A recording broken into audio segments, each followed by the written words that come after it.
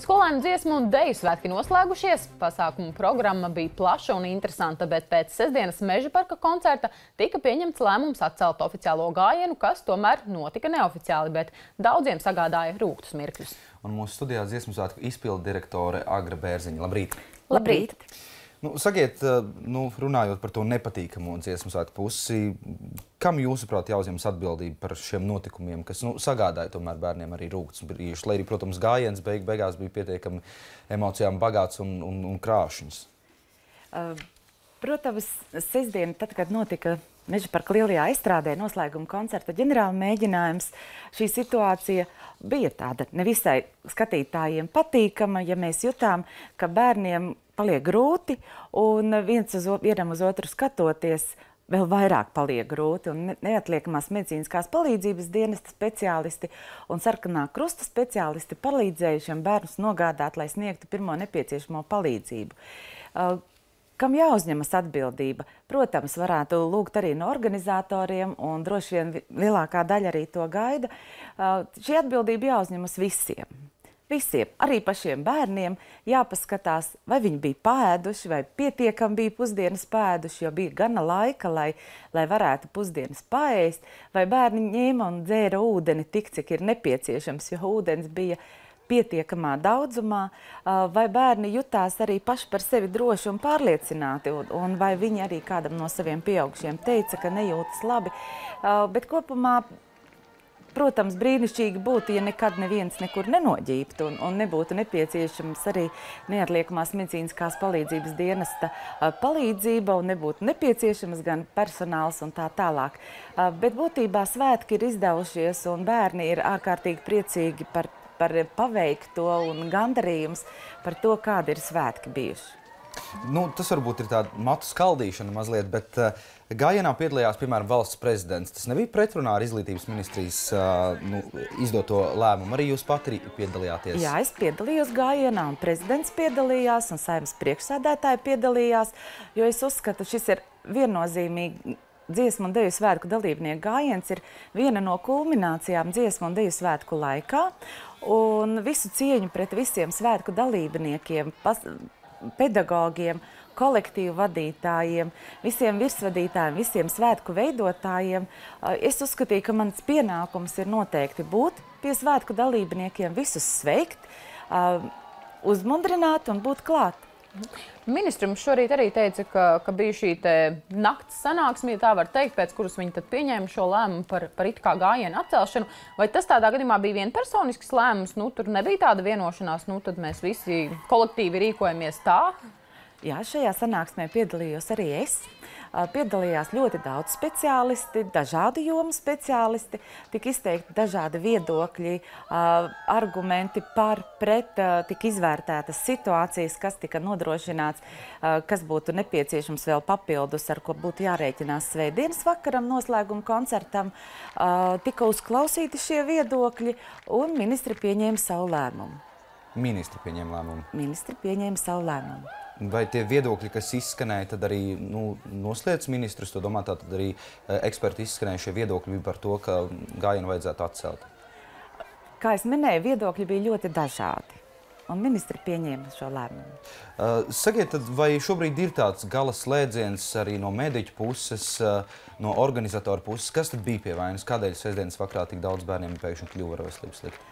Uh, tas ir neizskaidrojami, un arī mediķiem nav šī tāda vienotā slēdziena, jo tie bija dažādi bērni no dažādām, uh, dažādām vietām. Meža parka estrādē izvietojuma ziņā, gan no augš, augš, augšējiem pakāpieniem, gan no zemākiem, gan jaunāka vecuma bērni, gan uh, krietni puiši, uh, tom tā kā jūsu auguma puiši un meitenes uh, varenas un, un skaistas. Un, bet nu, tajā brīdī tāda situācija bija. Tie visi dažādi no visām neprognozējumām vietām.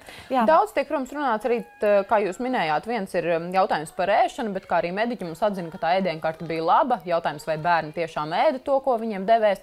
Un otrs par šīm slodzēm. Vai nav, man liekas, tas tas gadu no gada dziesmu svētkos tiek diskutēts, vai nav par garu šie mēģinājumi, vai, vai nav par daudz šo mēģinājumu, vai bērni to spēj izturēt? Jā, protams, eh, visas svētku norises programmas sastrāda un mēģinājumu grafiku cilvēki, kuri ir ļoti cieši saistīti ar dziesmu un deju svētkiem, šajā procesā ir iesaistīti ļoti daudz pedagogu, kur arī pārzina vecuma posmu īpatnības un noslogotību un arī spēju izturēt un, un pārbaudīt. Un mēs nevienā brīdī neesam teikuši, ka, ka dziesmu un deju svētki ir ļoti viegli top. Un, un vienmēr esam aicinājuši bērniem būt gataviem uz lielāku slodzi, jo ir jāsakoncentrējas un īsā laikā ir, ir jāapgūst un, un jāvienojas kopējā lielajā gan meža parka izstrādē, gan lielajā kopdziesmā, gan Daugavas stadionā lielajās kopdejās, jo tas ir sarežģīts process. Bet piedalīties gribās visiem, un tajā brīdī, kad ir tiek paziņoti svētku atlases kašu rezultāti, kāpēc mūs neņem, kāpēc mūs neņem, visiem gribas piedalīties bet ir jābūt gataviem uz grūtu darbu, lai pēc tam būtu svētki. Cik vidēji bija gari šie mēģinājumi skolēniem? Mēģinājumi es nevaru jums pateikt šobrīd precīzi, jo mēģinājumi ir dažādi. Ir dažādās klašu grupām, dažādām, dažādos pasākumos, dažādās norišu vietās ir atšķirīgi. Bet, protams, ikvienam bērnam, ja jūt, ka ir nepieciešams doties vai ievilkt telpu, vai aizskriet uz toaleti, vai papildus dzeramajam ūdenim, nevienam tas netika liekts un visi varēja saņemt un, un justies labi. Starp citu, vakar, protams, arī, arī sestdienas vakarā gan sociālajos tīklos sabiedrībā kopumā bija daudz dažādas informācijas par to, Jā. kas ir noticis. Un viens no jautājumiem arī bija par ūdeni, jo, piemēram, iepriekšējos, kas bija Baltijas un Ziemeļvalstu dziesmu sāk, tur ar ūdeni tiešām meža parkā bija problēmas. Tur bija cilvēkiem jāstāv garās rindās pie, pie mucas, kur nelielās glāzītēs izsniedz ūdeni. Vai šoreiz nu, dziesmu sāk dalībniekiem ūdens bija pieejams, to varēja ņemt uz skatuves? Un, un Jā, bija? protams, dzeramais ūdens bija pietiekami un, un šobrīd, tad, kad ir svētki beigušies, mums ir palikuši uh, ļoti daudz ūdens. Uh, kas, kas nav izdzerts, un, un tagad domājam, kā mums tālāk rīkoties. Es ļoti ceru, ka varbūt mums pieņems atpakaļ šo dzeramo ūdeni, ko esam iegādājušies. Un tā, ka visiem papildus viss bija nodrošināts.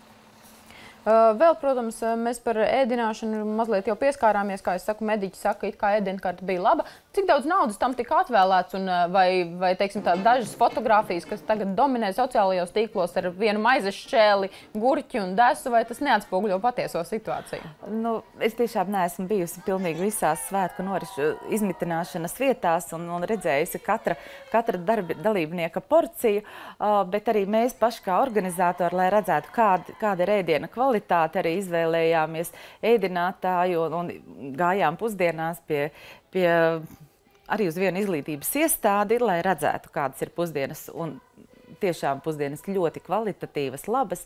Un uh, arī garša, ja bija pārmetumi, ka ir nepilnīga garša. Un, uh, visnotaļ ļoti garšīgas pusdienas. Protams, ēdinātāji drīkst izmantot un neizmanto izmanto tikai sāli un cukuru, neizmanto nekādus citus garšas pastiprinātājus. Pieļauju, ka kādiem bērniem nu, ir, ir citas prasības un cita nepieciešamība.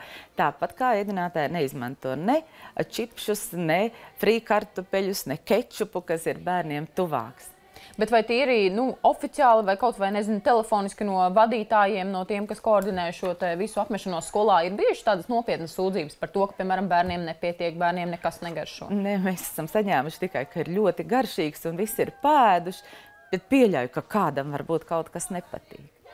Kā jūs vērtējat māksliniecisko programmu? Vai dziesmu svētkos tā uh, programma kļūst ar vien sarežģītāka, kas prasa no bērniem vairāk spēka, vai, vai tomēr nu, dziesmu svētki gadu no gada nu, reiz no reizes ir tomēr līdzīga un no bērniem prasa līdzīgus, līdzīgus spēkus un piepūli. Jā, ja bērni ir sagatavojušies jau sagatavošanas posmā un apgūši repertuāru, tad viss ir kārtībā. Jo jābūt jau ir interesantām lietām, repertuāram jābūt saistošam, lai, lai visi justos labi un gandarīti, gan skatītāji, gan bērni. Un arī, ja mēs atskatāmies uz ikviena koncerta programmu, tad jāsaka ārkārtīgi liels gandarījums par paveikto, jo patiesi visas koncertu norišu programmas bija ļoti skaistas, veidotas gan ar klasiskiem, gan ar, ar pamatīgām vērtībām un zināmiem skaņdarbiem, dziesmām, dejām, gan arī ar jauniem, kas ir jauni, saistoši, interesanti interesanti, mūsdienīgi.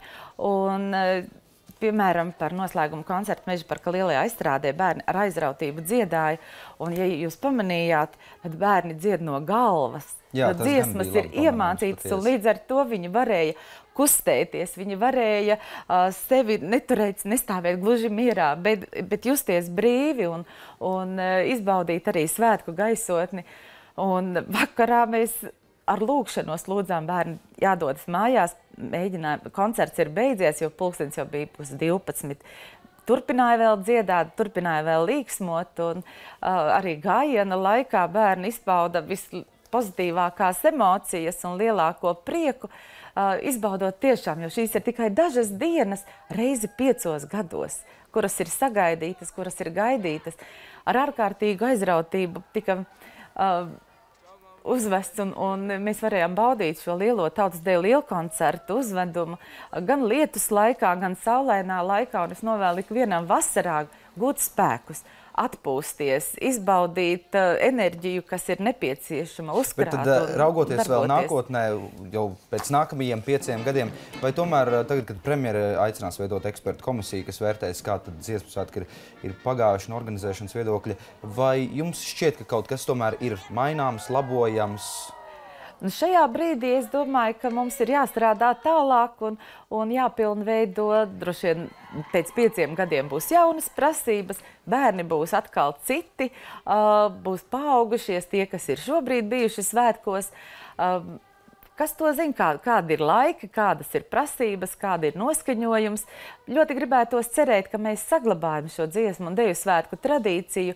Un gan notiks gan gājiens, gan visi tradicionālie koncerti un, un jauni koncerti, lai mums visiem kopā izdotos saglabāt tradīciju, un lai bērni, kuri aug, kuri ir tikai bijuši kā skatītāji, nokļūtu svētkos un arī sajustu šo vienoto sajūtu, šo vienoto emociju, enerģiju, kura ir tikai svētku laikā, svētku dalībniekiem. Jā, nu tad, uh, visi svētku dalībnieki nu jau ir devušies mājās, tad jāicina, ka vecāku, ar vecākiem tiekamies dziesmu svētkos jau 18. gadā, un jaunākie tad pēc pieciem gadiem atpakaļ. Jā, jā, mēs ļoti ceram, ka dziesmu un deju svētki būs. Varbūt pēkšņi kādam rodas ideja, ka jādomā kādi jauni modeļi, ka mēs šādus svētkus nevaram rīkot, bērni nav izturīgi, bet ir ļoti daudz izturīgu bērnu, kuri patiešām ar ļoti lielu enerģiju un spēku grib dziedāt, piedalīties un izbaudīt visu to, kas pienākas svētku laikā.